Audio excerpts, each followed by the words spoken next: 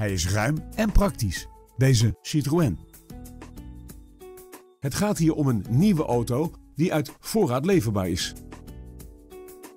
Deze bestelwagen is voorzien van praktische en comfortabele extra's, zoals airconditioning, cruise control en elektrisch bediende ramen.